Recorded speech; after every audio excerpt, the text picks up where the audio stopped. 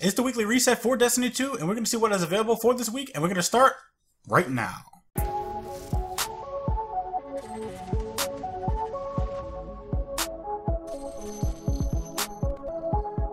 What's up guys, Reckless here and welcome to Guardian Watcher. If you enjoy my content, then hit the subscribe button and click on the bell, that way you guys don't miss out on any future videos. So, real quick, if you guys do not know, Destiny 2 hotfix 1.2.0.2 is live, and I will put a link to that in the description below. So, as for this video, we are going to go ahead and start with the milestones. We have Ikora's challenge, which you need to complete five challenges from Ikora. Then we have Leviathan, which you need to complete the raid or raid lair. Then we have the Nightfall, and this week's weekly Nightfall is uh, Strange Terrain. And then we have Call to Arms, which you win glory by participating in Crucible matches. The flashpoint this week is on Mars. And if you complete the heroic versions of this, then you can get it done a lot faster. Then we have Clan XP, which you earn Clan XP in strikes, raids, crucible, or world activities. And last but not least, we do have heroic strikes, which you need to complete three of them. So let's see what Tess has at the Eververse this week. Welcome. So like always, we're going to start with the left-hand side. For our wonderful emotes, we get the celebratory dance.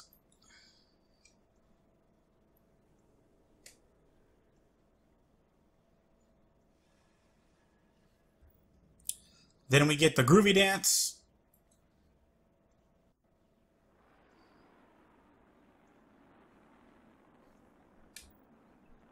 For our vehicle, we get the Velos Knight. This is a wonderful reskin. For the ship, we get the Neverfall. Once again, uh, another wonderful reskin. And for another ship, we, or at least for the exotic, we get the Holborn Splint which is an exotic ship, and this is the one I currently am using right now. I actually love the way it looks. Looks pretty badass. As for the Ghost, we have Waiting Casket Shell. Kind of reminds me of the Copperhead shell, and like it's turned, um, yeah, like going up and down. I forgot what the word it was. then for the Armor of the Week, we have the Mihaylova's Path, or at least I hope that's how you pronounce it, for the Warlock, it has one mobility and two recovery. And this is pretty much what it looks like. Then for our ornaments, we have the Coup de Main for the Suros regime.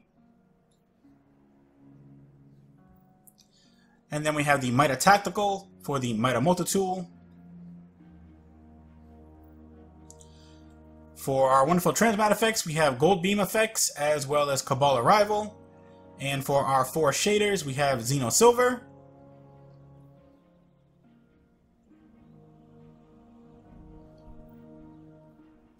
Dawn and Dusk.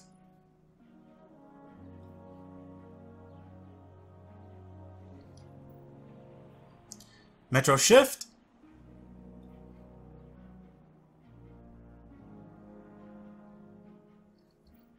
And last but not least, Arctic Pearl.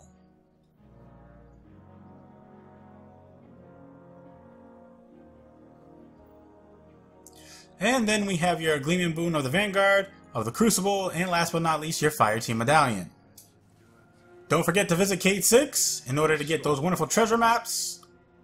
And the treasure map for this week is on Mars.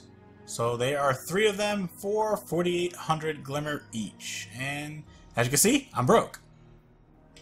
And if you enjoyed this video, then feel free to watch these videos as well. You never know, you just might like them. And if you do, leave a like, share them, and then come back for more, because you know you want to. Thank you guys for watching, and remember, less guns doesn't mean less crime. And I will see you guys next time.